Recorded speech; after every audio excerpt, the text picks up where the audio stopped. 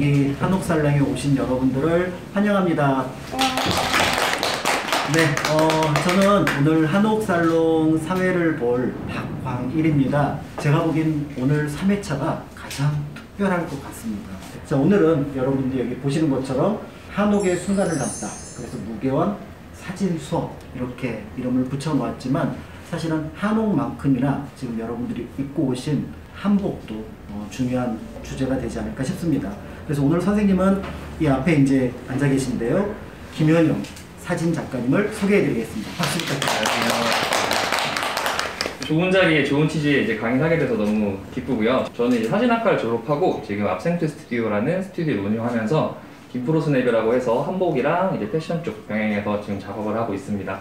그래서 오늘 한옥의 순간을 담다 예쁜 사진을 만드는 노하우에 대해서 여러분들이랑 같이 이야기해 보려고 합니다. 한옥이 갖고 있는 매력은 뭐가 있을까요? 한옥이 왜 예뻐요? 한복이 왜 예뻐요? 색이 예뻐요. 색 맞아요. 색도 정말 예쁘죠. 네, 오방수도 많이 쓰고 일단 한옥이 저는 예쁜 이유가 그런 나무들이나 아니면 기와나 그런 질감들이 너무 예쁜 것 같아요. 건물마다 다 똑같은 건물이 없고 규칙성 패턴이 있지만 규칙성도 조금 다른 부분도 있고 해서 그런 부분에서 정말 매력을 느끼고 그리고 제 생각에는 서양 건물보다는 한옥이 빛을 받았거나 할 때 그 그림자 자연과 같이 어울리는 그런 모습들이 더 예쁜 것 같아요. 일단 카메라에 대한 설명을 좀 해볼까요? 사진. 사진이 영어로 뭘까요? 포토그래피죠, 그쵸? 근데 여기는 할리오그라피라고 써 있어요.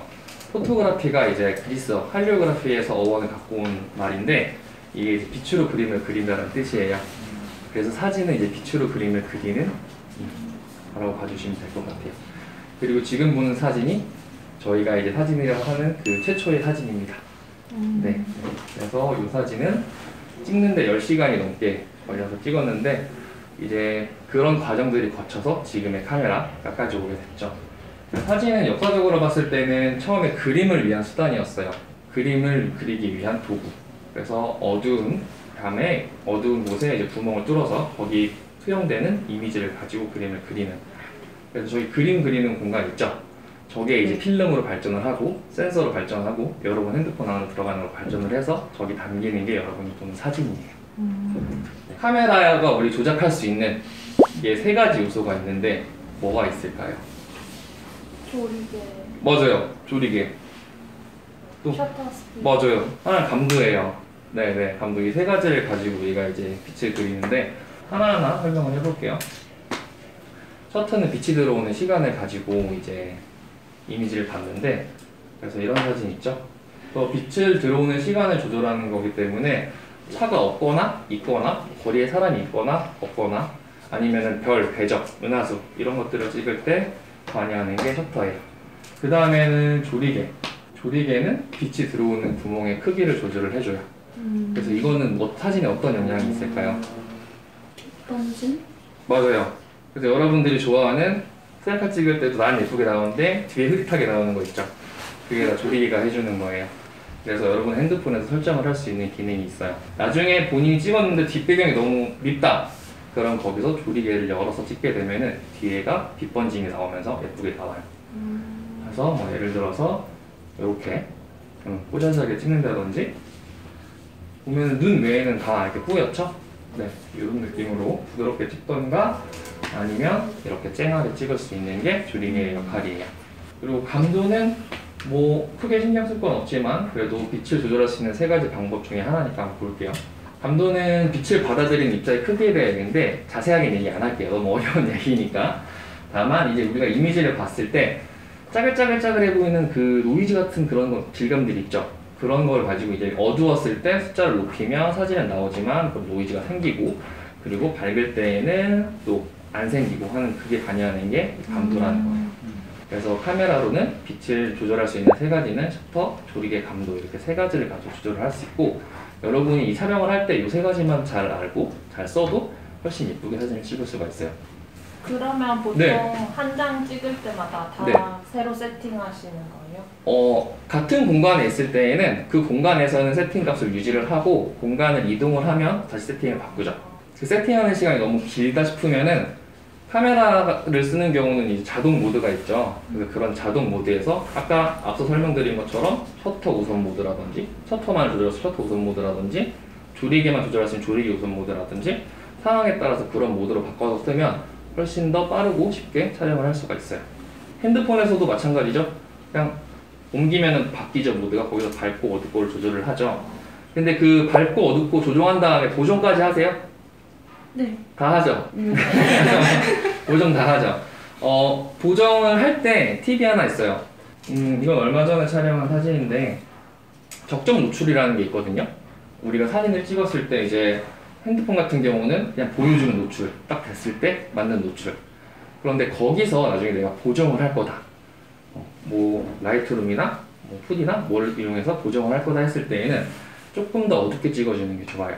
그렇게 해야 나중에 훨씬 더 예쁜 사진 찍을 수 있는데 그 이유를 설명을 드릴게요. 화사한 이미지가 좋아서 이렇게 밝게 찍었어요. 근데 이게 나중에 저 하얀 부분을 같이 살리고 싶어. 근데 이렇게 밝게 찍은 상태에서는 찍어도 저런 하얀 디테일이 하나도 살지가 않아요. 네. 그래서 셀카 찍을 때도 광대 같은데 어 화사하게 찍어야지 짝했는데 이만한 광대가 하얗게 날랐어.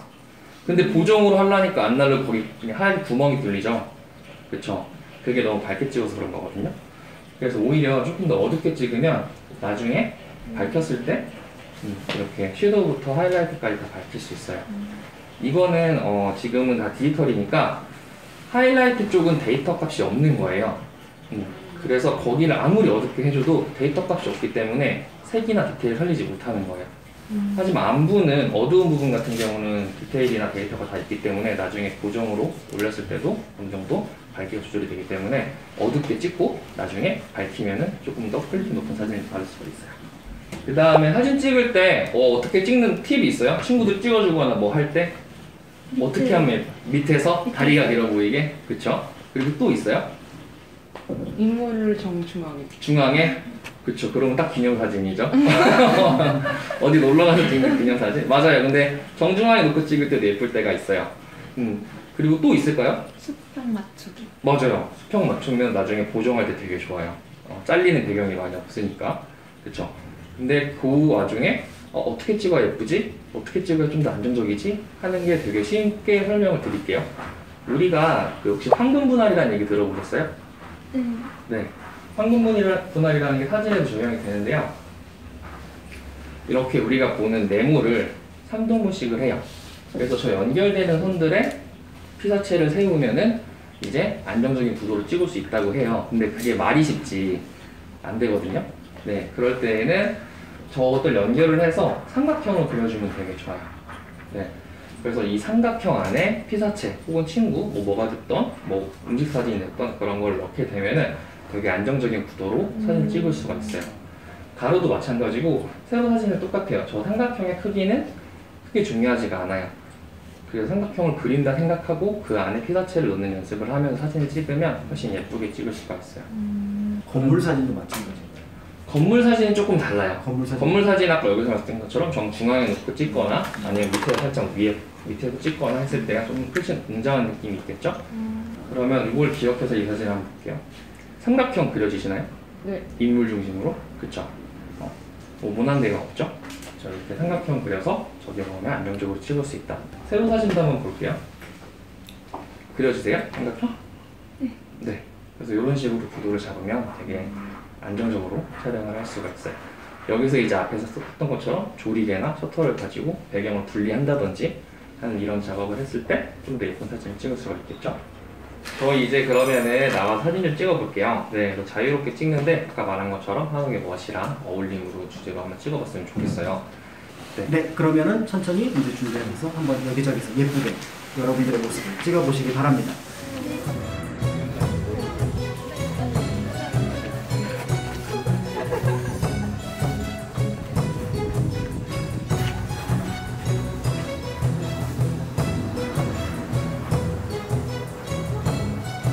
이거 너무 이쁜데? 이거 너무 이쁘게 나왔어요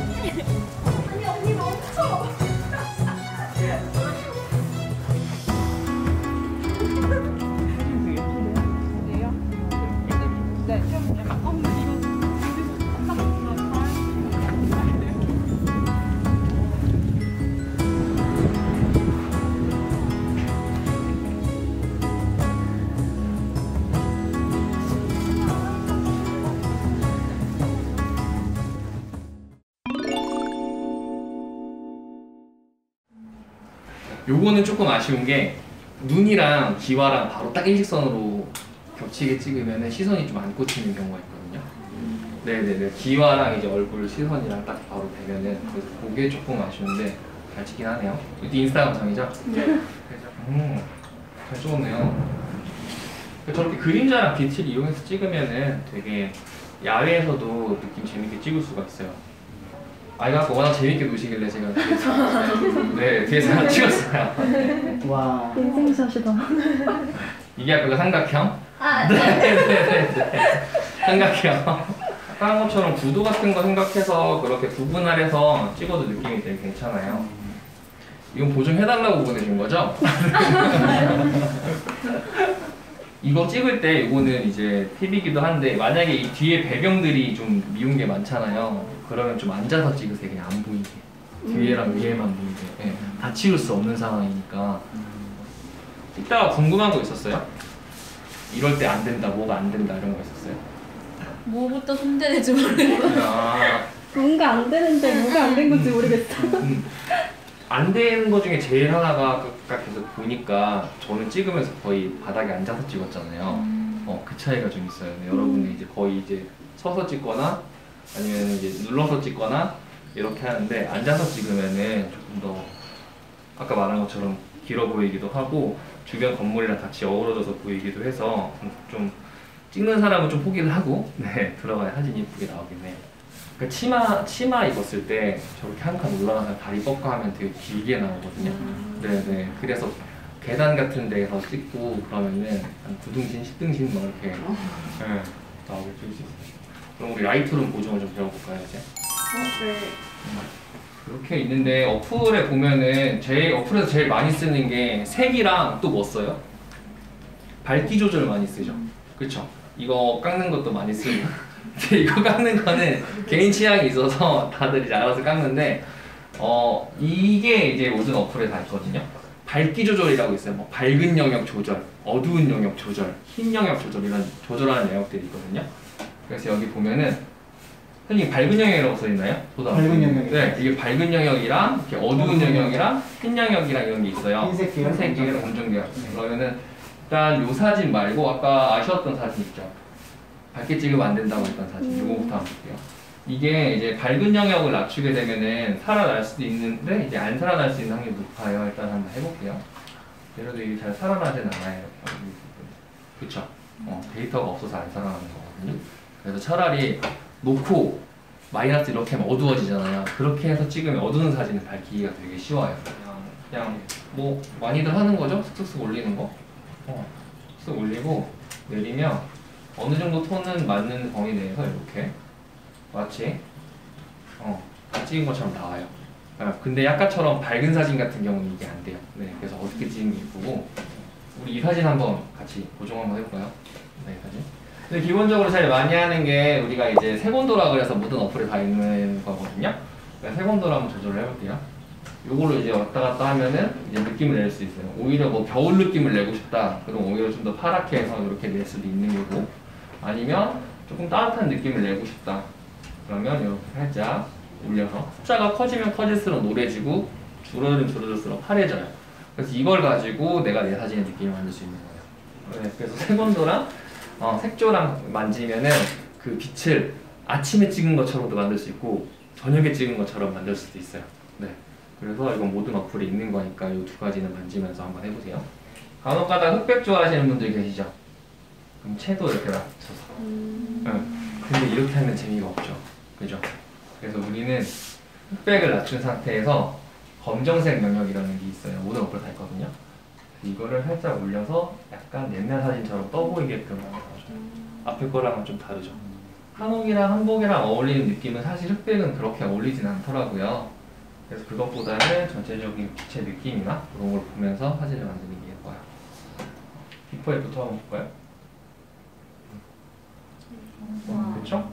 다르죠? 느낌을 내가 어떻게 내냐에 따라 달라지는 거예요. 네. 훨씬 더 입체감. 그렇죠. 나오는 그래서 그 커브감 방금 네 개밖에 안 만들었어요, 그죠? 색온도랑 밝기, 그렇죠? 음, 밝기 안에서도 밝은 영역, 어두운 영역. 네. 그래서 핸드폰으로 찍어도 이 정도는 다 되니까 어둡게 찍고 구도 잘 잡고. 네. 오늘 강의 내용만 다 숙지하면은 인스타 감성은 뭐 어렵지 않게 찍을 수 있으니까 네, 네. 그냥 좋을 것 같고요. 어, 질문 있으면 질문 몇 개 듣고 마무리 네, 지을 네, 거예요. 네. 근데 보통 순서로 그러니까 같은 사진을 네. 해도 소, 그 저는 그냥 처음에는 앞에서부터 그냥 있는 거 다 해보고 그냥 가장 마음에 드는 걸로 이렇게 하거든요. 근데 네. 앞에서부터 시작해서 간 사진이랑 뒤에서부터 시작해서 간 사진이랑 좀 결과물이 다르더라고요. 어떤 게 그러니까 막 앞에서부터? 노출을 먼저 잡고 나서 뭐 밝기를 밝히면 그게 처음에 노출로 이게 보정이 된 다음에 본 거다 보니까 네. 좀 그런 게 달라지면 밝기를 음, 먼저 있는 노출을 먼저. 있냐 그래서 어떤 걸 좀 먼저 우선순위로 두고 하는 게 좀 좋은지 먼저 색감을 우선순위로 두는 게 제일 좋아요. 아, 내가 이거를 따뜻한 색감으로 갈 건지 네. 차가운 색감으로 갈 건지 그래서 세본도를 제일 먼저 만지는 게 좋아요. 왜냐면은 그걸 만지지 않은 상태에서 방금 말한 것처럼 다른 거 내 눈에만 보이는 미세한 것들을 먼저 만지기 시작하면은 나중에 최종 결과물을 봤을 때 그 결과물이 도출이 안 돼요. 근데 이제 내가 느낌부터 먼저 봐서 전체적인 색감을 만들어 놓고 그 다음에 노출, 전체 노출, 해서 어둡고 밝고를 만지고 나서 그 다음에 이제 내 눈에만 보이는 것들 있죠. 그런 거를 만지는 거예요. 그러니까 딱 봤을 때 큰 거부터. 음. 어, 제일 이 사진에 봤을 때 전체적인 느낌을 좌지우지하는 것부터. 네. 그래서 보통 색온도, 그 다음에 노출, contrast 이렇게 보긴 해요. 네. 그 다음에 이제 liquify라고 그러죠. 깎는 거는 제일 마지막에. 어, 깎는 걸 제일 마지막에 하는 또 다른 이유는 이게 깎는 거를 처음에 하고 많이 해봤 많이 겪으면 딱 했는데 올렸어. 근데 한 1분 있다 보니까 아 너무 티가 나나? 그래서 지우면은 다시 전 단계로 다 돌아가야 되는데 이거를 제일 마지막 단계에 하면은 했다 강도에 따라서 내가 조금 더 넣을 수도 있고 뺄 수도 있고 하니까 네, 그래서 그거는 제일 마지막에 네. 살롱이라는 곳이 강의도 진행되지만 또 서로 간의 의견들도 또 이제 한 번씩 들어보는 시간이 좋을 것 같아서 어, 이쪽부터 이영환님부터 한번 어떻게 신청을 하셨고 오늘 해보니까 어떻다 뭐 이런 느낌이 좀 생각보다 훨씬 더 재밌었던 그래요? 프로그램이었던 오, 것 같아요. 네. 어떤 부분이 생각보다 훨씬 더 재밌으셨어요? 일단 한국을 입고 보통 경복궁 그런 궁전해가지고 이런 음, 무게감이 조금 다르잖아요. 그런 그렇죠, 곳이랑은 그렇죠. 배경도 많이 달랐던 것 같고 각 잡고 사진 찍은 적이 사실 많지가 않거든요. 아, 그래서 사진도 많이 음. 찍어서 재밌었고 사진 찍는 재미랑 찍히는 재미 음, 어, 알게 된 것 같아요. 네, 고맙습니다. 저는 여기 살거든요. 이변에 사세요? 아니요. 여기에서 음, 걸어가면 30초 아, 살고 있어서 맨날 이제 왔다 갔다 하면서 어, 여기 예쁘네 막 이렇게 어, 가본 곳인데 네네. 지난번에 이제 행사 때 처음으로 이렇게 사, 사람들이랑 같이 한복 입고 여기 와보고 음. 사진을 찍으러 온 거는 이제 처음인 거죠. 네. 그래서 되게 맨날 지나다니던 곳인데 이렇게 아름다운 곳이었다는 거를 알게 돼서 너무 좋고 음. 무게원 이런 역사 설명해 주신 것 덕분에 음. 더 알게 돼서 좋고 또 이제 구도 같은 거를 꼼꼼히 알려주셔가지고 약간 음. 막연했던 것들이 그래도 약간 이론으로나마 머릿속에 남아서 이제 앞으로는 사진 찍을 때아 그때 선생님이 이렇게 삼각형 이렇게 해주셨지 뭐 이런 거라던가 음. 아 태양을 좀 이렇게 하라고 하셨지라는 게 실천은 못하더라도 머릿속에 남아서 좀 도움이 될 것 같아서 음. 되게 유익한 시간이었고 저도 한복을 진짜 좋아하다 보니까 관련된 활동도 많이 하고 특히 여행 갈 때 한복을 진짜 많이 입는데 네. 사진 찍을 때마다 좀 아 이게 생각한 것만큼 안 나오는 거예요. 배경도 너무 예쁘고 한복도 너무 예쁜데 어떻게 해야 잘 찍지라는 음. 고민을 좀 많이 하고 있었었는데 이런 좋은 기회가 있어서 또 참여를 하게 되었고 또 어떻게 사진을 좀 찍어야 좋은지라던가 음. 뭐 다양한 것들을 많이 배우고 가서 어, 정말 뜻깊고 유익한 시간이었습니다. 그쵸. 저도 사실 오늘 처음에 작가님 뵀을 때 뭔가 특별한 걸 얻어가야지 라고 저는 욕심을 왜냐면 저도 이제 답사를 다니고 이제 한옥과 같은 이런 것들을 자주 오는데 그런 걸 배워야겠는데 뜻밖의 되게 쉽고 중요한 것들이 거기에 있었더라고요. 그래서 그런 것들을 저도 배우면서 어, 저는 앞으로도 계속 건물 사진을 찍긴 하겠지만 혹시 사람이 주, 중간에 제가 한참 찍고 있으면 와서 찍어주세요 하는 분들이 있으면은 그거는 제가 이제 잘 찍어드릴 수 있지 않을까 그런 생각이 듭니다. 네, 여러분 말씀 감사하고 이제 마지막 정리 네. 그러니까 오늘 강의는 뭐 더 딥하게 들어가면은 더 길게 설명할 수 있는 부분인데 사실은 사진 한복 입고 그 활동을 하는 것 자체가 너무 좋아서 그게 또 남들이 봤을 때도 더 좋고 알릴 수 있는 기회가 있으면 좋겠고 사진이란 게 너무 어렵지 않게 다가갔으면 좋겠어요. 사실은. 네네. 그래서 기본적으로 누가 뭐 언제 어떻게 찍어도 그냥 뭐 기본 컷, 뭐 인스타그램 정도는 살릴 수 있는 뭐 그 정도 느낌? 네, 사실 누구나 다 오늘 강의 들었으면 다 가능할 것 같고요. 네, 뭐 나중에 혹여나 뭐 오늘 강의 들으신 분 제가 얼굴 기억했으니까 나중에 저한테 DM이나 개인적으로 연락 주시면 제가 또 궁금한 거 있으면 답변 또 드릴게요. 뭐 쉽고 재밌는 시간이었으면 좋겠다는 생각이 듭니다. 네, 네. 감사합니다. 다 같이 사진 한번 찍으실래요? 하나, 둘, 셋. 안녕. 컷 수고하셨습니다.